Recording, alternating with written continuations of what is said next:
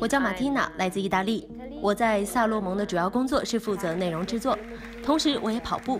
但是我的主要工作是在这个队伍里负责包括视频、照片、文字报道等等，给大家带来萨洛蒙队的近况。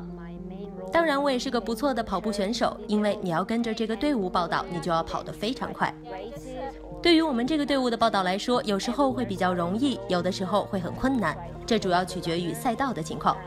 因为有的赛道比较容易跟上队伍，有的赛道则因为是越野赛的缘故，难度会很大。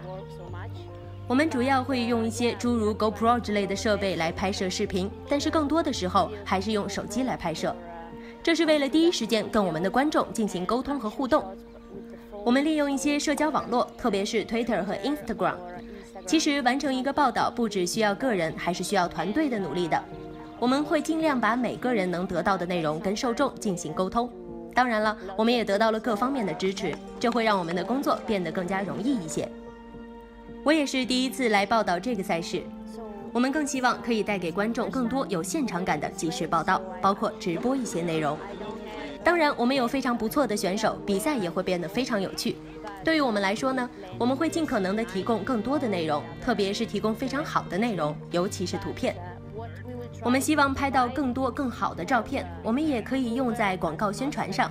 我也希望可以通过这些宣传，不仅仅使得这个赛事得到提升，也使得这个队伍得到提升。当然，这也会提升我们平台的形象。这里的气候还是不错的，会让我们拍出非常好的照片。其实这几年我们都在尝试做 TV show，比如说我们去中国或者其他的一些地方，赛事也好，训练营也好，我们都会拍摄一些影片。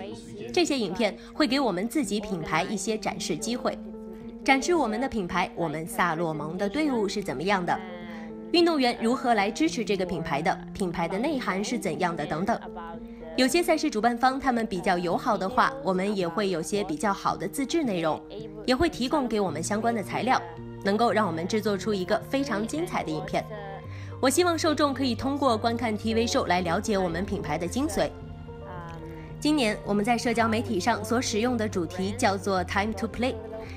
也就是希望每个参与这个运动的人都能够享受整个过程。当然，作为一个跑者，我也有今年的计划和夏天的参赛计划。但是很不幸的是，我今年早些时候受伤了，所以我不得不改变我的参赛计划。我的腿上有一些伤病，我希望自己可以很快的伤愈复出，有良好的状态去参加比赛。因为伤病这个问题，我不得不做出一些赛事的调整，比如在德国的比赛，我不得不取消参赛计划。不过之后我还是会有一些赛事的计划，包括在七月份会有一些积分赛，包括意大利比赛等等。最后也希望自己可以有机会参加最后的总决赛。我希望通过自己的努力训练，能够展示出更好的竞技水平。